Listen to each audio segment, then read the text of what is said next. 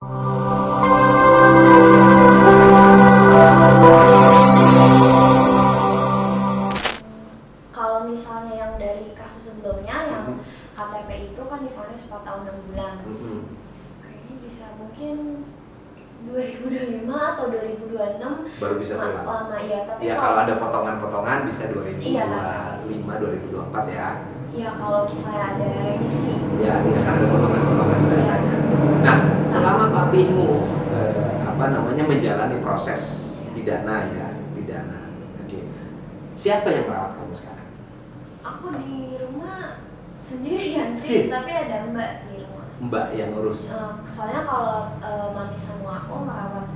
papi aku kan sering standby di rumah sakit Oke, oke, oke. Sekarang papinya di rumah sakit. di rumah sakit tahanan Ya artinya dia menjalani perawatan. Iya, Sakitnya soalnya apa? eh, lagi gagal ginjal kronis diabetes dan emang waktu itu sempet eh, paru-paru basah dan jadi sesak nafas juga kalau Berarti posisi nafas. kesehatan tubuhnya sudah sangat berat. iya Diabetes berdampak pada gagal ginjal iya, betul plus paru-paru. iya makanya kalau Jadi sekarang terbaringnya di rumah sakit. iya makanya kalau ngomong emang agak susah karena nafasnya aja juga susah. Dan waktu itu eh, ya kan eh, ada kasus KTP juga. Eh, kalau dan kalau misalnya kasus ITE ini yang eh, papa itu nyebut kejahatan sarang mafia gitu kan Eh, kalau yang kasus ITE itu jalan ya kalau mereka jalan lagi bisa nambah lagi. Dan aku juga lihat di yang kasus ITE itu banyak yang prosesnya nggak sesuai. Tapi aku nggak boleh ngomongin ya Ya, kita kan tidak bahas itu karena itu sudah yang yang eh, bahasnya banyak. Jadi kalau saya bahas itu kok masih itu, itu juga kan. Justru saya membahas sisi yang lain. Nah, artinya bahwa di sini ada seorang anak. Kan saya lihat itu. ya. Di sini ada seorang anak yang begitu merindukan ayahnya. Yang mati-matian membela ayahnya dan meyakini ayahnya di jalan yang benar.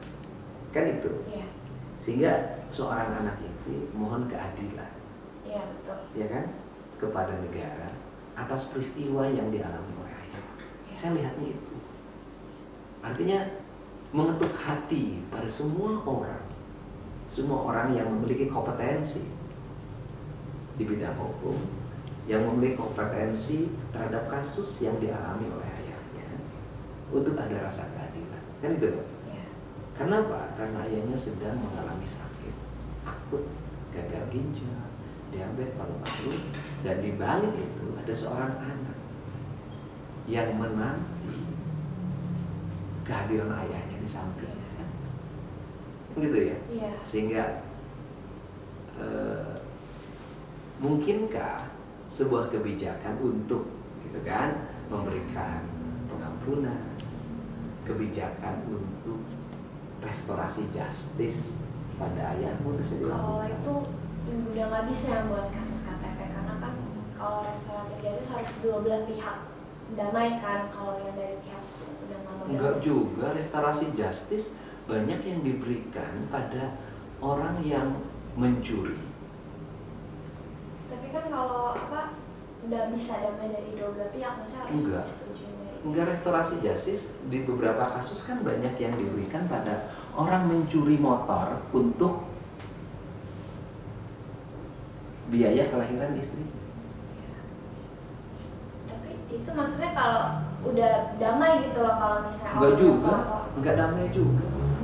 Bisa Aku juga. saya lihat banyak tuh tayangan-tayangan di Iya. media sosial banyak tuh orang yang mencuri motor untuk biaya kelahiran istrinya akhirnya dia dibebaskan. Dibebaskan pasti karena damai dong maksudnya dari ya misalnya dia mencuri motor pasti Hmm. orang yang dicuri ya ya udah misalnya mereka damai ya karena soalnya kalau misalnya saya lihat waktu itu di uh, kalau Orang yang curi bisnis, handphone untuk untuk sekolah anaknya, nyuri handphone tuh untuk dikasih anaknya sekolah, Iya. dibebasin. Artinya aspek-aspek keadilan itu kan dilakukan, gitu loh, dilakukan, gitu. Artinya bahwa selama ini juga ada kebijakan-kebijakan yang dilakukan Iya. untuk, gitu kan, memberikan eh, pertolongan, pengampunan pada orang-orang yang melakukan tindak pidana karena keterpaksaan ekonomi. iya Nah tapi pertanyaannya adalah ini bisa diberi nggak sih? Gitu loh, gitu loh. kalau yang restoratif justice kayaknya buat papi aku yang kasus KTP udah nggak bisa tapi kalau yang aku minta tuh eh, buat kan yang ada kasus ITE kalau Hmm. yang itu aku minta buat apa ITE nya belum berproses, kan? udah tersangka Ya tapi kan belum iya berproses. belum di pengadilan Ya kan belum proses untuk di eh, apa namanya di proses di persidangan, Iya, ya kan? jadi- Karena mengingat kondisi kesehatan papinya juga sudah sangat berat. Iya memang. Jadi yang aku eh, jadi aku suarakan yang aku sampaikan itu yang semua proses-proses hukum di podcast-podcast lain itu aku menyampaikan itu dengan tujuan agar papi aku ini Iya, artinya kan kamu ini sekarang lagi berjuang Iya. menyampaikan, gitu kan, pada seluruh pihak yang berkompetensi menangani papimu Iya. untuk, gitu kan, untuk gitu kan, untuk agar proses pidananya tidak dilanjutkan. Iya. Mengingat Iya. ini ada anaknya nih yang Iya. lagi membela sayang banget sama papinya. Yang kedua, papinya dalam keadaan sakit Iya. Dan sakitnya adalah sakit yang sangat akut. Iya. Ada gagal ginjal, cuci darah dong. Iya cuci darah seminggu tiga kemudian kali. seminggu tiga kali terus kemudian eh, kemudian ada paru-paru Iya. ada gula artinya kan proses hukum juga kan untuk taruhlah proses hukum untuk memberikan efek jerah misalnya karena ada sebuah perbuatan pidana kalau ini juga kan gimana orang orang hidupnya sudah sangat berat Iya, orang kan harus kalau lagi sakit harusnya dikasih hak buat istirahat. Jadi tuh maksudnya aku bukan minta buat membebaskan ayah aku dari bisa dari hukumannya dari yang eh, kasus KTP hukuman yang itu tapi kalau misalnya nanti udah sehat ya udah bisa nanti di Oke. balik tapi kan sekarang lagi sakit setidaknya Iya. buat jadi tahanan kota atau Ya, tahanan jadi rumah. kamu tuh memohon keadilan Iya. ya kan memohon keadilan agar ada aspek-aspek keringanan yang dimiliki oleh papimu misalnya perubahan status tahanan. Iya. sehingga menjadi tahanan rumah tahanan kota gitu kan? Mengingat papimu itu sedang dalam keadaan sakit yang berat. Iya, kan itu ya? Betul. kan? Yang diminta adalah itu. Kan itu. Inilah perjuangan seorang anak demi ayahnya. Kan gitu. Dan saya datang tuh karena ngagumin itu. Gitu karena ngagumin itu. Dan dan yang paling utama adalah Indonesia punya aset. Menurut saya sih beda liatnya.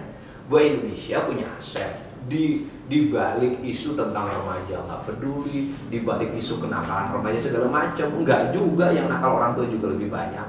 Nah ternyata ada anak remaja Indonesia ya kan yang bernama Kate Victoria. Lim yang memiliki kemampuan advokasi dan kecintaan pada ayahnya yang sangat luar biasa padahal sejarah hidupnya berat sejak bayi sudah berpisah antara ibu dan ayah Iya. dan sejak bayi sudah menjadi bagian dari sengketa hukum di mana ayahnya itu masuk penjara karena saking cinta pada anaknya kan ini penting Iya. anaknya rela ayahnya rela masuk penjara demi cinta pada anaknya kan luar biasa. Kamu bangga lu punya ayah seperti itu? Kamu bangga banget ya? Iya. Memang eh, saya iya saya juga sering nontonin video papa saya kalau ke mana-mana saya ikut dan dari kecil sama papa saya terus ya gimana saya nggak bangga ya. Namanya seorang anak. Banyak anak yang gak bangga sama ayah. Banyak anak-anak yang lihat penderitaan ayahnya cuek aja banyak. Kok kamu bangga hebat banget aku ini sedih banget loh Raja ini. Kamu ke aku tuh merasa melihat anakku sendiri. Ini keren banget. Nah nah eh, sudah ada berita belum dari seluruh rangkaian advokasi digital yang dilakukan? Hari ini sudah ada berita belum? Berita. Artinya perkembangan yang dialami oleh ayah. Maksudnya dari pihak sana? Ya perkembangan ada- tuh misalnya ada- ada gambaran perubahan status tahanan belum belum belum ada jadi makanya aku mau terus Sa- aspek aspek personal legalnya ditempuh nggak misalnya ada nggak pengacara ayah ada yang ngurus itu waktu itu kan aku sempat pas eh, ngomong-ngomong di podcast di podcast sendiri Hmm. mereka sempat ngeluarin eh, press release dan eh, aku juga waktu itu diundang buat ketemu sama Hmm. si eh, sama Dear TV Cyber dan mereka bilang kalau misalnya eh, kayak gitu bisa sesuai proses tuh harus lapor ke wasiri Kapropam tapi kita udah ngelakuin itu dan gak ditindaklanjuti makanya yang ada cara lain aku ngomong biar Ngomong. dapat Iya kan jadi menyampaikan pada publik tentang sebuah keluhan yang Iya. dialami sehingga ada permohonan rasa keadilan untuk tidak meneruskan kasus pidana dengan tuduhan undang-undang ITE iya Itu kan? kayak yang itu Kalau yang lama mah sudah berponis kan? Iya. Kan tidak mungkin dicabut lagi lama. karena sudah lama. sudah berkekuatan hukum tetap. Iya. Jadi yang diperjuangkan itu adalah yang kasus ITE ini Iya. tidak dilanjutkan. Kalau dari sisi aku karena proses hukumnya tidak sesuai tapi ya udah nanti. Ya kan proses hukum sesuai tidak sesuai kan eh, ranahnya bukan ranah perdebatan di media sosial, tapi ranahnya kan ranah beracara. Pertanyaannya adalah kenapa nggak ngajuin? PTWN. PTWN. Iya, PTWN. Pengadilan tata usaha negara. Dari Keputusan negara. Tuh, itu kan buat kebijakan Apa salah? tun maksudnya tak tahu. Oh, kenapa tidak ngajuin pra peradilan? Saya Oh, pra peradilan. Lupa. Saya ingat PTWN terus, soalnya habis ber PTWN. ya. Eh, Kenapa tidak ngajuin kita pra peradilan? itu eh, buat yang kasus ini mau ngajuin gelar perkara khusus sebenarnya. Oke. Kan ini, Tapi kan keberatan terhadap status tersangka. Ya. Kan status tersangka tidak akan pernah terhapus, Ya. ya kan? Oleh sebuah perdebatan di media sosial, oleh sebuah advokasi di media sosial, kan gitu loh. Artinya, berarti kan harus ada cara hukum untuk menghentikan. Kita Ca- lagi minta gelar perkara khusus, Oh. tapi belum di ini makanya Oke. sebenarnya karena bukan karena apa ya dalam beracara memang kita udah yang tadi uh, Dirti Pesawat bilang udah ngomong apa lapor ke wasidik kalau misalnya proses hukum nggak benar lapor ke propam dan kita ngakuin itu tapi nggak nggak ada tindak lanjut jadi makanya ya aku Enggak, bukan. Karena untuk menghentikan status tersangkanya, iya kenapa nggak Mau. menempuh eh, ke pra peradilan? nggak ke peradilan sih kita mintanya gelar perkara khusus tapi belum di Kan kalau di pra peradilan kan jelas kalau misalnya di pra peradilannya bahwa ayahmu itu menang kan selesai. Berarti kan status eh, tersangkanya dicabut. kita ngajuinnya gelar perkara khusus Oh, gelar perkara khusus Iya, dengan ujungnya diharapkan khusus. SK3. iya itu Ya. Yang penyidik. Gelar perkara khususnya sekarang pengajuannya udah sampai mana? belum di belum disetujuin dari mereka Belum disetujui. belum, belum disetujui. jadi belum ada terus apa maksudnya belum ya belum ada perkembangan lah istilahnya jadi belum bisa gelar perkara khusus Oh, belum bisa gelar perkara kalau yang khusus. kasus itu tuh sekarang kan udah jadi tersangka terus Mm. eh, dari kepolisian udah ngasih berkas ke peng- ke kejaksaan tapi Kejaksaan. balikin karena katanya berkasnya nggak lengkap Ya, artinya berkasnya nggak lengkap. Makanya kan Iya. pada proses itu kenapa tidak kita tidak pra peradilan? kita mau gelar perkara khusus yang tadi aku bilang tapi belum ini Kan itu jauh lebih efektif untuk menjamin kepastian hukum. Ya kita udah ngelakuin gelar udah minta gelar perkara khusus udah ngelakuin ke Sidik udah ngelapor ke propam masih belum gitu jadi untuk langkah-langkah hukum Kan langkah-langkah langkah-langkah normatif itu kan Iya. bisa terbantahkan manakala gitu kan eh, kepolisiannya kan bisa memperlihatkan tahapan prosedur KUH pidananya. Kalau tahapan prosedur formal KUH pidananya terpenuhi kan tidak bisa juga itu menjadi intervensi propam. Ini analisis saya. oh kalau yang propam itu kita laporin karena emang eh, dari kepolisiannya yang nggak sesuai sama prosesnya. Ada eh, yang kayak pasal-pasalnya nggak sesuai gitu unsur pasalnya. Nah itu kan melanggar kode etik gitu. Ada yang melanggar kode etik kayak misalnya sebelum eh, nggak dikasih SPDP waktu itu. Pokoknya ada yang bilang Pokoknya dalam pemahaman eh, apa namanya kamu dan pengacaramu, pencaramu bahwa itu ada aspek prosedur formal yang tidak terpenuhi atau terlanggar. Kan itu Iya. dalam pemahaman ya, namun juga iya. dalam pemahaman. Makanya kan sa- saya kenapa sih tidak tidak pra peradilan lebih lebih menempuh. Nah, kalau pra peradilan kan sifatnya eksternal, artinya kan pihak eksternal yang memutuskan. Tapi kan kalau gelar perkara khusus berarti kan internal yang memutuskan. Mau digelar enggak kan terserah penyidik dong. tapi itu kan kalau kita minta harusnya diberikan dong Oh, gelar diberikan. perkara khusus ya aku gitu ya kalau gelar kalau kan ada gelar perkara yang internal yang kalau misalnya cuman apa cuma penyidiknya kesaksi ahlinya doang kalau misalnya gelar perkara khusus yang pelapor sama terlapornya datang gitu maksudnya pengacaranya yang Oke. bisa datang gitu jadi mau minta gelar perkara khusus Ya mudah-mudahan lah maka dua sistem ini eh, apa yang pertama pra peradilan yang dua gelar perkara khusus yang mudah-mudahan bisa ditempuh. Iya. Atau ya mudah-mudahan juga ada aspek-aspek eh, lain yang bisa dilakukan untuk menjamin rasa kemanusiaan. Iya, itu yang aku mau minta buat yang kasus eh, KTP buat ubah papi aku statusnya jadi tahanan. Ya, jadi yang untuk di KTP yang sudah ponis berkekuatan hukum tetap Iya. harapannya gitu kan status tahanannya berubah Iya, karena kondisi kalau status tahanannya berubah berarti kan sudah menjadi kewenangannya kumham sekarang kan Iya. karena kan eh, kekurangan lapas kan karena kan eh, kan hakimnya sudah memutus vonis penjara kan Iya. Gitu. Ini apa? Aku ngapain foto papi aku? oh iya Ini waktu lagi sakit cuci darah. oh ini lagi gitu. cuci darahnya ini papi Iya. lagi di rumah sakit Iya, makanya aku minta demi kemanusiaan. sekarang masih cuci darah Dan itu apa berita penculikan waktu itu yang aku bilang. oh yang dulu itu Iya, yang dulu itu sempat ada di berita. oh berarti iya ini Iya. tahun 2009 Iya, 2009. Itu tahun 2009 oh ini yang penculikan tahun 2009 Iya. ini yang cuci darah sekarang Iya, yang sudah ada sekarang. Yang sekarang. Aku minta.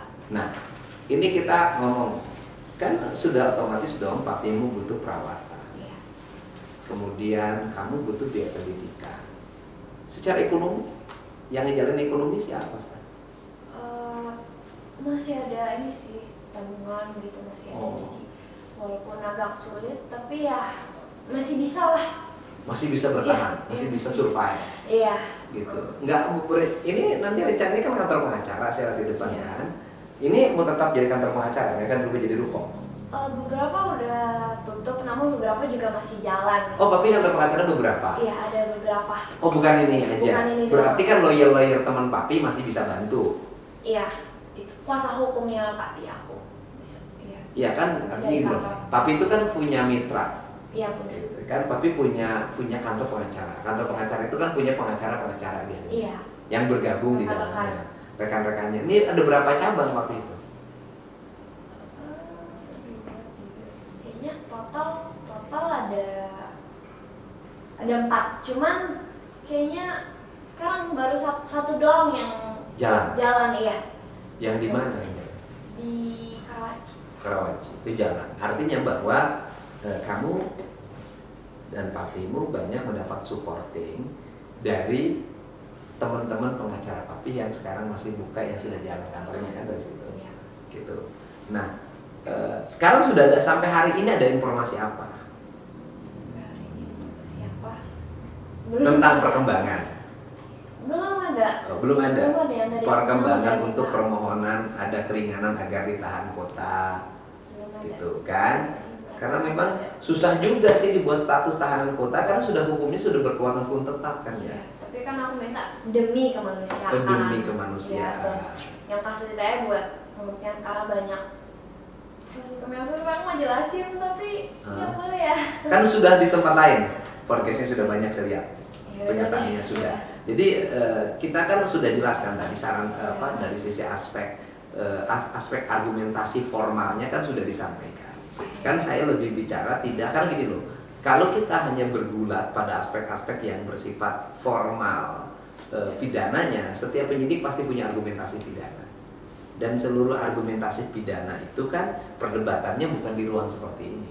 Iya. Perdebatannya kan harusnya di ruang-ruang yang bisa mengambil keputusan tentang itu. Betul, kan gitu loh artinya. kita mau ngajuin gelar perkara khusus belum disetujui makanya Makanya terus tekanan hari ini adalah permohonan hari ini adalah agar ruang gelar perkara khusus dibuka kan gitu loh. iya Permohonannya kan Iya, ada dua hal kan yang diinginkan. Iya. Satu, permohonan untuk dibuka ruang gelar perkara khusus sehingga eh, aspek objektivitas tentang perkara itu bisa terbuka secara luas, gitu kan? Sehingga ada aspek keadilan yang akan diterima oleh papimu Iya. kan gitu yang kedua adalah permohonan dicari solusi hukum gitu loh ya kan hukum terhadap aspek kesehatan yang sudah akut gangguan kesehatan akut yang berdampak harus dirawat dalam setiap hari di rumah sakit.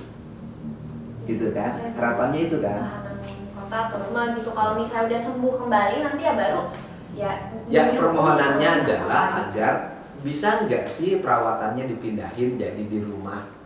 Iya.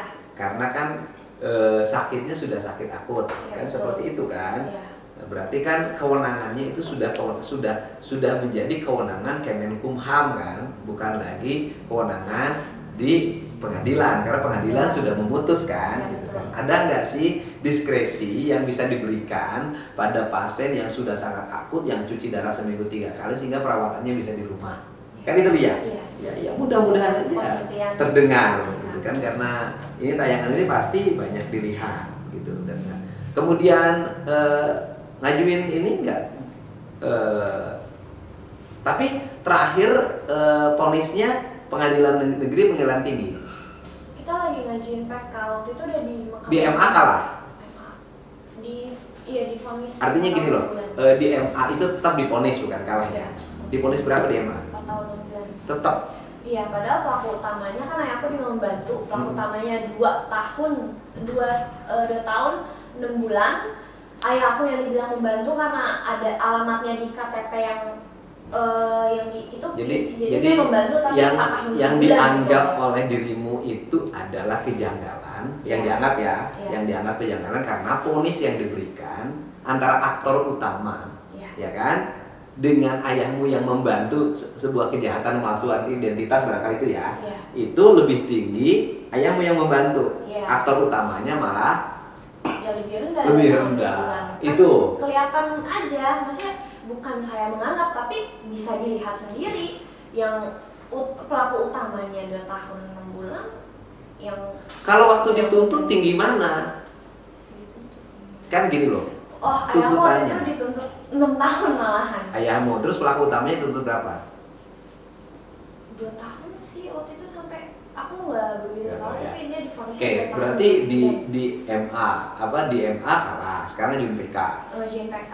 Ya. Oke, nunggu PK. Kalau PK kemudian eh, tetap bukan kalah ya, tetap PK mengukuhkan terhadap putusan Mahkamah Agung, mau ngajuin ini ya ke presiden. Majuin apa? Kenapa? Enggak ngajuin ke presiden nggak? Majuin apa ya? Pembebasan. Pembebasan ya aku juga minta Presiden sih kalau misalnya bisa mendengarkan. Kan bukan, ini kan enggak kalau Pak Presiden kan pasti Iya, beda. menghormati aspek Iya. hukum formal. Iya, Yang betul. aspek hukum formalnya kan dia tidak bisa mengintervensi penyidikan, proses peradilan kan Iya, beda. Tetapi kalau misalnya bisa nggak nanti ngajuin ke- kalau di PK kalah ngajuinnya apa istilahnya gerasi, Itu bisa jadi salah satu upaya sih, cuman ya ngajuin Kita gerasi ke presiden. Iya kita mau lagi proses PK sih kita lihat aja nanti Oke. kalau misalnya dari kan Dimungkinkan kita- nggak gerasi dilakukan terhadap kasus yang seperti ini? Iya bisa. Ya menurut saya bisa saja sih kalau misalkan itu hak presiden kan. Nggak nggak dimungkinkan nggak gerasi diberikan pada kasus yang seperti ini? Ya mungkin saja kan. Saya kan waktu itu kayaknya sempat aja ya Pitra Pitra siapa ya waktu itu yang waktu zamannya Megawati. Oh iya, ya? yang Pitra yang yang pengacara yang sekarang yang DPR. Hmm, Dia pernah jadi pengacaranya? siapa? Pitra itu. Bukan saya pernah dengar aja di berita waktu kan Oh. Megawati sempat ngasih apa ya hak apa gitu Oh, dulu ya? Iya itu bisa keluar gitu kan. Oke, ya makanya kan dari sisi aspek hukum formal saya kan tidak begitu memahami ya karena walaupun sarjana hukum Iya. udah lama nggak nekunin ini. Eh, bisa nggak sih kasus yang seperti ini kalau di PK-nya ternyata mengukuhkan putusan MA mengajukan gerasi ke presiden kan gitu ya, mudah-mudahan aja bisa Iya. kan mudah-mudahan bisa jadi eh, jadi kan konkretnya adalah bahwa yang pertama kalau untuk yang putusan pengadilan karena dianggap melakukan kejahatan pemalsuan identitas itu kan Iya. itu sudah ponis ponisnya sudah keluar Sudah. kemudian lagi beradu nasib di PK Iya. kan gitu loh ya. Kalau di PK-nya kemudian nanti mengukuhkan ya mudah-mudahan ada upaya hukum lain gitu kan. Gerasi ke presiden. Oh ya bisa ya. Namanya gerasi bisa dilakukan. Karena gerasi dulu juga pernah diberikan pada pidana korupsi yang waktu zaman Pak SBY kali ini kan bukan korupsi. Karena karena alasan sakit akhirnya dibebaskan. Pernah dulu ya. Pernah ada salah satu kepala daerah gitu kan. Nah sekarang ini juga karena alasan sakit mudah-mudahan bisa ngajuin gerasi dan kemudian presiden bisa membebaskan eh, sehingga bisa kembali ke rumah. Iya. kan itu. Itu kan upaya hukum formal yang harus ditempuh. Kemudian yang kedua adalah agar kasus undang-undang IT yang melanda ini tidak diteruskan kasusnya. Dihentikan. bisa SP3 dan gitu bisa SP3 itu harapannya doa dari seorang anak. Bener kan